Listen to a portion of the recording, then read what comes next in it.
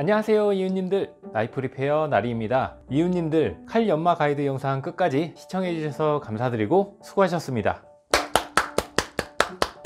칼 연마 가이드 영상은 칼에 첫 입문하시는 분들께서 기초를 완성하실 수 있도록 총 29편 29편으로 하루에 한 편씩 보실 수 있는 분량으로 구성되었고요 나름대로 어, 기초가 되는 그런 부분들만 담아 어렵지 않게 구성하려고 노력했는데 괜찮게 만들어졌는지 모르겠네요. 이 가이드 영상을 끝내신 이웃님들께서는 좀 더 자세한 내용을 알아가실 수 있도록 초급, 중급, 고급으로 나눠진 칼에 대한 영상이 계속해서 업로드 될 예정이고요. 많은 이웃님들께서 궁금하신 내용이 있으시지만 내용이 많이 어렵고 영상 한편으로는 사실 만들기 어려운 부분이 있는데요. 그런 내용의 칼에 대한 영상은 기존에 제가 수리하는 칼 수리 영상이나 여러 개의 주제를 한 번에 묶어서 제작하도록 하겠습니다. 앞으로도 많은 시청 부탁드리고요. 나리에서 제작한 영상이나 자료, 사진 등은 활용하신다 말씀만 해주시고 원본 링크 공유 와 함께 사용해 주시면 편하게